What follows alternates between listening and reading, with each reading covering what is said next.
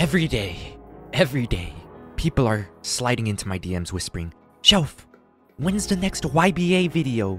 Or have you looked at Eternal Battlegrounds? One of these messages every day, which is why I'm making this video.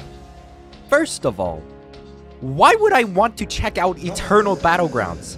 I haven't I haven't tried it yet, but when I first saw it, that thing had a 40% like percentage. You guys think I like pain? Like, ooh, a knife. I, I bet it would be fun to throw it in the air and try to catch it. No, I haven't checked out Eternal Battlegrounds. And, and looking at this, I don't want to. And to those of you waiting for the next YBA update, listen, listen, come closer to me, my dear viewer. Okay? Listen, I've been on a bit of a cynical tangent, but just bear with it a little longer, okay? I'm not sure how to really phrase this, um, so I'll just say it. Our home, YBA, has been abandoned. Okay? Dad left to go get 10 liters of milk, and he is not coming back. Actually, I take that back. He, he might come back in a year with a cup of milk, throw it at us, say, here you go, then, then leave again. In my eyes, maybe not everyone's eyes, Uzu has abandoned YBA. So I have too. Because I don't want to keep making videos on the same game forever. That doesn't mean I've completely quit Roblox JoJo or anime games. Like, I see a Universal Time isn't even as bad as people used to think.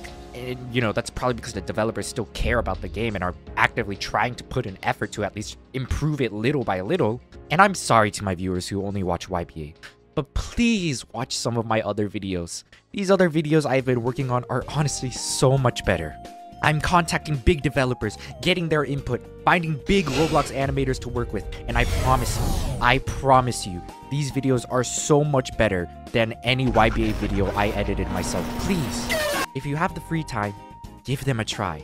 Playing a game for an hour then slamming a bunch of memes on it is cool, but what I really love doing for you guys is coming up with these detailed, intricate scripts, animating scenes to match them, and making you guys laugh and entertain. YBA is great. It, it was.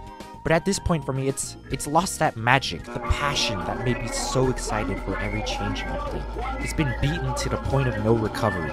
So yeah, all I want to say is thank you YBA, but it's time to hang up the hat and move on to better and bigger things.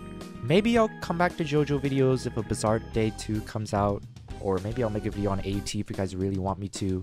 Uh, see how that pans out, but for now, this is my farewell to just YBA. Regardless, love you all. Please stop sending me messages to play YBA. And yeah, I'm, I'm sorry, Dad is not coming back. He's he, he, he might come back with like the cup of milk I was mentioning earlier, but like it's it's it's gonna be spoiled.